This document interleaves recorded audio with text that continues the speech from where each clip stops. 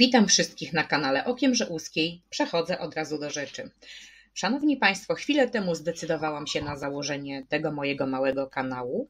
Zanim to nastąpiło, mam pewne amatorskie doświadczenia, ale już kilkuletnie, e, jeżeli chodzi o publicystykę i powiedzmy kontakty i zachowania, reakcje środowisk, które same siebie uważają za prawicowe, wolne i świadome.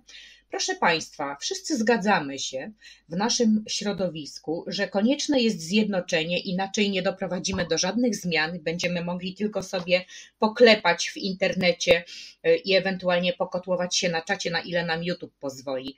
Ale dlaczego wobec tego przez tyle czasu, nawet przez tyle lat, kiedy ja jestem w tym środowisku aktywna, bo zawsze do niego należałam, ale aktywna, co jest powodem, że do zjednoczenia nie doszło? Ano ideologia. Ideologia, proszę Państwa, i zasadnicza rzecz. Proszę popatrzeć, jak zachowują się inne kraje, do których uciekamy z naszego własnego kraju w poszukiwaniu stabilności, bezpieczeństwa i normalności. Czy tam liczy się realpolitik czy ideologia? Jak to jest u nas, proszę Państwa? Proszę Państwa, gdyby na przykład ktoś, kogo bardzo nie lubicie, dla każdego co innego, nie wiem, Kaczyński, Tusk, Żełuska niech będzie, Rosjanie, Chińczycy, Niemcy, Żydzi, cokolwiek, każdy ma swoich antagonistów. Gdyby ci antagoniści powiedzieli Państwu, że książka jest książką, stół jest stołem, kubek jest kubkiem, lampa jest lampą i tak dalej, Zaprzeczalibyście Państwo, dlatego że to powiedział ktoś, kto jest Waszym ideologicznym antagonistą? Zaprzeczalibyście faktom? Szanowni Państwo, a jeżeli ktoś, kto jest antagonistą, kogo nie lubimy, ideologicznym tylko, mówi prawdę o pewnych faktach i o konieczności podjęcia określonych działań bądź zaprzestania, to jak Państwo byście zareagowali? Odrzucicie to na zasadzie na złość mamie odmrożę sobie uszy? bo dokładnie jest to ta kategoria zachowań. Proszę Państwa, ideologia powoduje tylko jedno: narastanie sztucznych murów między ludźmi, ale nienawiść rośnie prawdziwa i dlatego nie możemy doprowadzić do zjednoczenia. Jestem absolutnie e, przeciwnikiem e, takiego podejścia zideologizowanego w 100%, bo to niestety wyłącza refleksyjność. Widzimy to w obecnym obozie rządzącym.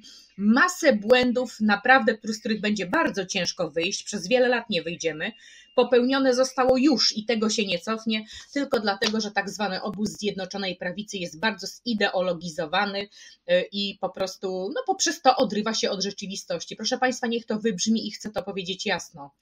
Bardzo głębokie zideologizowanie powoduje oderwanie od rzeczywistości. Ideologia jest potrzebna, bo to jest kierunkowskaz, to pokazuje horyzont, ale jeżeli ja jestem zwolennikiem określonej ideologii, to przede wszystkim żyję według tych zasad, a z tym, jak wiemy, jest bardzo różnie i też to widzę po ludzkich zachowaniach, ale nie dziś jest pora na, na, na tą rozmowę.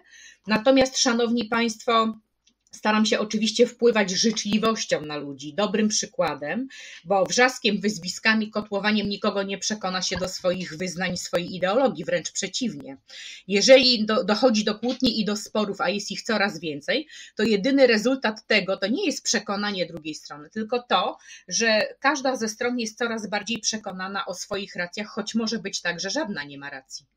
I co my, proszę Państwa, z tym zrobimy? Jak długo my się jeszcze będziemy kotłować o ideologię? Zobaczcie, minęło już ponad 30 lat tak zwanej wolnej Polski po transformacji. Minęło już sporo lat, odkąd udzielam się publicznie zdecydowałam się w środowiskach patriotycznych, wolnościowych, ludzi wolnych. Chcę w to wierzyć, ale do czego nas to doprowadziło? No moje psy, moje psy potwierdzają. Spokój, dzieciaki.